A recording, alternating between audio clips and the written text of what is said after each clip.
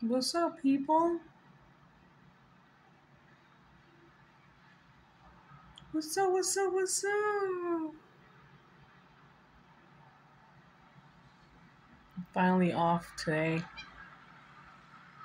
Did my 68 hours. Damn, mommy. I know I'm tired. It's a lot of hours. Mm-hmm. Gotta work.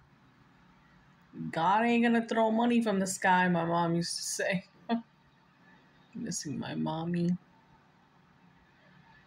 Anyways, that's good to work, anyways. What would I do home? Right? Make that money, girl! trying to save for my vacation. So I can go on my vacation. That's right. So what's up, people?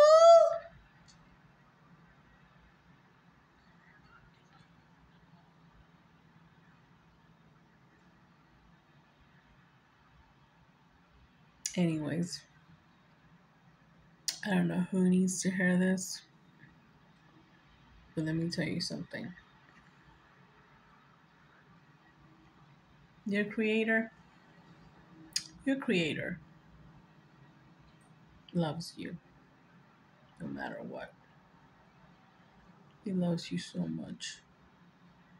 You're so precious to him.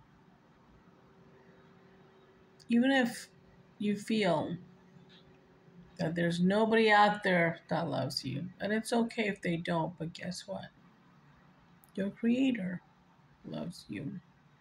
Because many people might act like they love you, but no.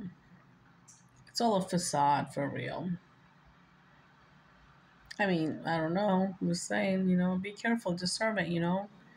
But I think the best love you can always receive, the more purest love you can always receive, is from your creator. The real love he can always give you. People, they're superficial. People are unpredictable. People don't even love themselves. How would they love you? They have to love themselves first, you know? So, and you must love yourself too, right? So go and love on yourself. That's what I say. Love on yourself because you, you come first. You got me?